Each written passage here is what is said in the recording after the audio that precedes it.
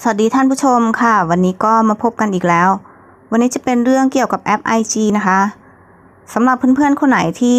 เข้ามาในหน้าแก้ไขโปรไฟล์แล้วเจอแท็บข้อมูลเชิงลึกตัวนี้นะคะ และต้องการที่จะนำแท็บเครื่องมือตัวนี้ออกอะค่ะ เราสามารถที่จะเปลี่ยนการตั้งค่าบัญชีของเราให้เป็นบัญชีส่วนบุคคล เพราะว่าแท็บเครื่องมือที่ขึ้นตัวนี้จะเป็นแท็บเครื่องมือของบัญชีธุรกิจ หรือว่าบัญชีมืออาชีพนะคะ เดี๋ยวเราไปดูวิธีการ เปลี่ยนบัญชีหรือว่านำแท็บเครื่องมือข้อมูลเชิงลึกตัวนี้ออกกันเลยค่ะ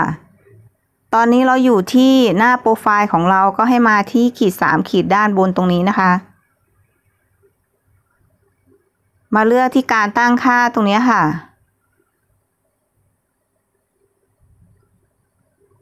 แล้วก็ให้เรามาเลือกที่บัญชีตรงนี้นะคะ ให้เลื่อนลงมา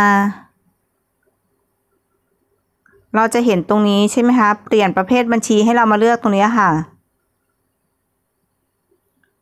แล้วก็ให้เรามาเลือกที่สลับไปใช้บัญชีส่วนตัวค่ะ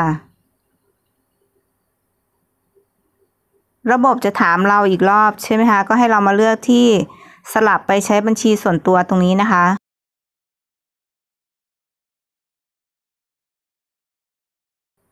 ตอนนี้ระบบเปลี่ยนเป็นบัญชีส่วนบุคคลให้เราแล้ว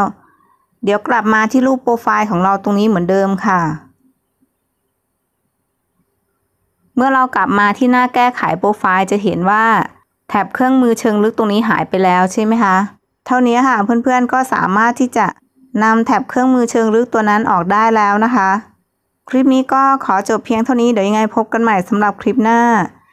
เกี่ยวกับมือถือแล้วก็แอปพลิเคชันต่างๆ อย่าลืมกดไลค์ กดแชร์ กดติดตามเพื่อเป็นกำลังใจให้กับช่องด้วยนะคะ สวัสดีค่ะ